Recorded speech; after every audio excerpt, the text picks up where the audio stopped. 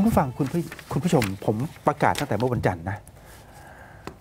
บางเรื่องอยากจะทำแบบซ้ำๆซากอืมๆปกติการทำรายการสื่อเขาจะถือหลัก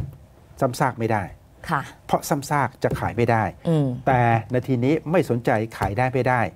อยากจะยัดเยียดให้คุณผู้ชมคุณผู้ฟังได้ร่วมเกาะติดเออและอยากจะกระแทกไปที่กกตใช่ ถึงแม้ว่าเกาะติดแล้วเขาจะไม่เปลี่ยนแปลงก็ตามเราก็ยังเกาะติดใช่ไหมไม่รู้ ถือว่าอืมเราได้ทำหน้าที่ค่ะ เราจะเอาตัวอย่างบัตรเลือกตั้งทั้งสองประเภทขึ้นจอเห็นกันแล้วเริ่มจากตัวอย่างบัตรเลือกตั้งประเภทแบ่งเขตก่อน แบ่งเขตเอาขึ้เลืนอกจอตั้งเลยเป็นแบบนี้ค่ะ เอาขึ้นจอเลยนะฮะ โล่งๆ ไม่มีอะไรเยอะค่ะเห็นไหมฮะเห็นไหมมีแค่เลขค่ะ เอาเอาเฉพาะแบบแบ่งแบ่งเขตเขตก่อนอืมเอาเอาเฉพาะแบบแบ่งเขตก่อน เอาสีเขียวเอออันสีนี้เขียวก่อน โอเค เอาตรงอืมนี้ก่อน เอาตรงนี้ก่อน เราจะเห็นชัด คุณผู้ชมคุณผู้ฟัง เอาตัวเองเป็นตัวกำหนดก็แล้วกัน ถ้าคุณผู้ชมเดินไปที่คูหา อืมแล้วควักเอาบัตรเลือกตั้งประเภทแบ่งเขต สาระที่เขาบอกกล่าว เราบนบัตรเลือกตั้งแบบแบ่งเขต มันมีแค่เนี้ย เลขมันมีหมายเลข มันแล้วก็มีช่องติ๊ก เออจบ คุณติ๊กตามหมายเลขเท่านั้น คุณไม่ต้องรู้อะไรมา คุณคุณติ๊กละอยากติ๊กหมายเลขไหน ไม่มีหมายถึงแบบแบ่งเขตนะชื่อคนชื่อก็พรรไม่มีไม่มีโลโก้พักไม่มี ชื่อผู้สมัครก็ก็ไม่ไม่มี มี มีแค่หมายเลขผู้สมัคร ท่องเข้ามาให้ดี แล้วก็มีช่องให้ติ๊ก เท่านั้นเอง ยกตัวอย่างเช่น 501 ก็ติ๊กที่ 501 ยกตัวอย่างเช่น 502 ก็ติ๊กที่ช่อง 502 502สุดแต่ด้วยใจความเคารพด้วยความเคารพ อย่าว่าแต่พี่ป้าหน้าอาอาอากงอาม่าเลยนะอืมเอาแต่ตัวผมเนี่ยหมาแก่เนี่ยแหละ สมมุติว่าถ้าผมไปอยู่ในเขตที่มีผู้สมัครเยอะสับสนน่ะเพราะว่าผ่านหลายเขตๆอย่างบางเขตเนี่ยมันลงกัน 20-30 เบอร์อะเออโอเคอะ ผมถือบัตรแล้วผมเข้าไปที่คูหา ผมต้องผมห้ามเดินสะดุดนะ ถ้าผมเดินสะดุดเนี่ยมันหลุดจากหัวเลยนะ แล้วห้ามใครมาทักสะกิดด้วย แล้วห้ามใครมาสะกิดหรือมาทักผมนะ เพราะเดี๋ยวจะลืม เจ้าหน้าที่ก็ห้ามซักผมเยอะนะ เออ อย่าถามยาว เพราะไม่งั้นวิญญาณปลาทองมันจะเข้าสิงถ้าวิญญาณปลาทองเข้าสิง มันหลุดจากกระบาลแล้วผมจะติ๊กใคร ติ๊กไม่โอคได้เลยนะ อืมผมว่าเผลอๆจะเกิดการติ๊กผิดเบอร์ ติ๊กผิดคนเออสมมติอยากได้ 501 ไปติ๊ก 505 อย่างเงี้ย อืมคือคือเพราะจำผิดไงสมมติสับสนว่านายกอไก่เออเบอร์เบอร์ 504 ก็แล้วกันอ่ากอไก่นาย504กอไก่เบอร์ 504 แต่เดินสะดุดพรม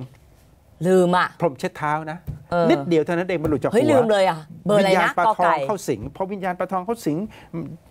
อยู่ที่คูหาทำไงวะเนี่ยกอไก่เบอร์อะไรอะผลปติ๊ก505 ก็ได้คะแนนไปเลยสิ505 ก็ติ๊ก ติ๊กผิดคนบัตรไม่เสียนะ แต่ 505 ได้คะแนน ก็ทำไมใส่ชื่อผู้สมัครเข้าไปไม่ได้เหรอครับอืมอะโอเค ไปดูตัวอย่าง บัตรเลือกตั้งสสประเภท party list ใบแรกแบ่งเขตก็คือเลือกคนนะใบที่สองแบบบัญชีรายชื่อก็คือเลือกพรรคอืมจำดีหน่อยง่ายนะ ดีหน่อยนะ เลือกพรรคเขามีชื่อพรรคพรรคกอไก่ขอไข่เขาเขาคนเขาเอาว่ากันๆไปไม่พอให้โลโก้อีกมีโลโก้พรรคด้วยเผื่ออ่านไม่ได้ไงจำโลโก้เอา มีโลโก้ด้วยอืมก็จำโลโก้ไงไม่ต้องจำอ่านไม่ได้ไง มีโลโก้ด้วย อืม มีหมายเลขหมายเลขต้องมีต้องมี แล้วก็มีชื่อพักแล้วก็มีช่องให้ติ๊กไอ้อันนี้แบบเนี้ยโอเค ไม่หลง ไม่หลงไม่หลงโอเค สมมุติว่าจะเอาพักฮอนกคู่ก็ติ๊กที่ฮอนกคู่ เพราะมันมีชื่อพักอยู่ในบัตรเลือกตั้ง หรือจำโลโก้เอาก็ได้นะอืมประธานกกต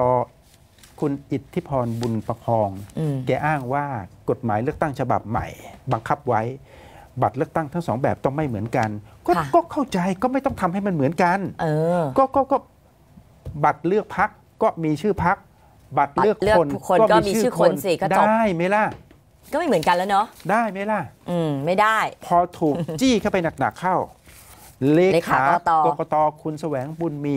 อดรนทนไม่ไหวแทนที่แกจะตั้งโต๊ะแถลงข่าวเอ่อเอ่อ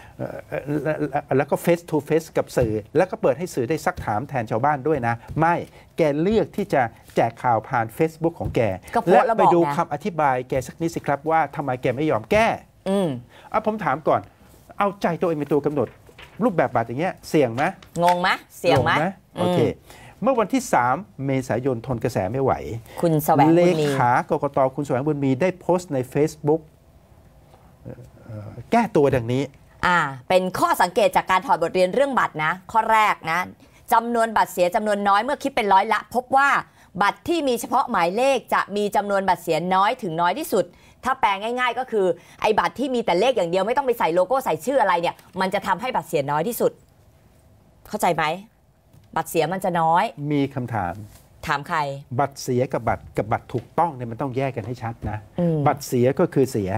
บัตรถูกต้องก็คือเอ่อ ติ๊กถูกคนเอออย่างที่ต้องการจะเลือกใช่ค่ะ ไม่รู้อืมโอเค